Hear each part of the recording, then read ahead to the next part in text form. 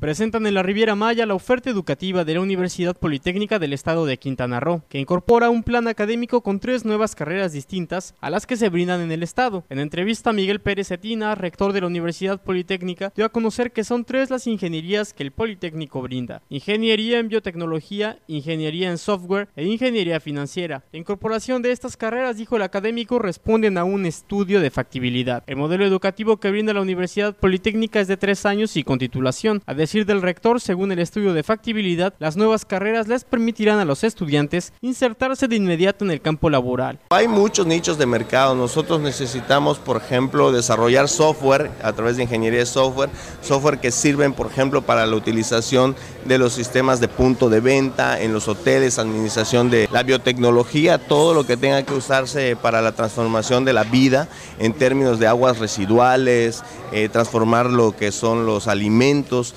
tenemos este, muchos productos en, nuestro estado que, necesitan esta tecnificación y bueno, ingeniería financiera, la toma de decisiones en partes financieras se usa y se utiliza en absolutamente todas las empresas. El campus de la universidad se ubica en la ciudad de Cancún, provisionalmente en un edificio sobre la avenida Tulum frente a la estación de autobuses. Sin embargo, informó el rector que ya se cuenta con el predio y el recurso para iniciar la construcción de las instalaciones del campus. Las inscripciones iniciaron el 4 de y los exámenes de admisión se realizarán el 28 de octubre, para iniciar clases finalmente el 22 de noviembre.